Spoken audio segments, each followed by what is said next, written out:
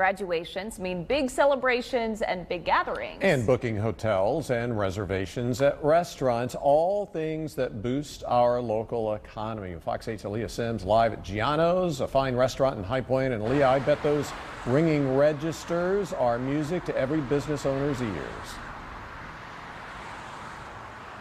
Yeah, Neil, you can see the sign welcoming guests of High Point University indicating a very busy weekend here in the Triad. Now, I've been outside of Giano's restaurant for about an hour or so, and I've seen about 20 to 30 people walking in and out of their doors in that time frame. I also stepped inside to ask the owner just how busy they are. He tells me they are completely booked out for the weekend with more than 50 reservations.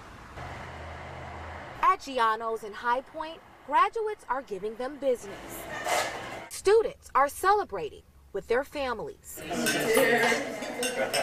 and owner David Nicolata is celebrating seeing so many people in his restaurant. Extraordinarily busy weekend, and uh, we didn't have any of that last year, so we're incredibly thankful that it's back. Yes, we're aware of the pandemic. The president of Visit High Point expects eight to 9,000 people to visit the city this weekend and spend an estimated $2.4 million into our area.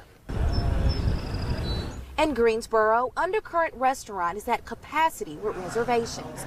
More than 200 people are expected to walk through these doors over the weekend. We're booked for every single shift, and we're just so glad to be doing the business again, honestly. Now, I also checked on hotel capacity here in High Point, and I'm told that at least eight of them are completely booked out of rooms. Live here in High Point, Aaliyah Sims, Fox 8 News. All right, the Regal Cinema.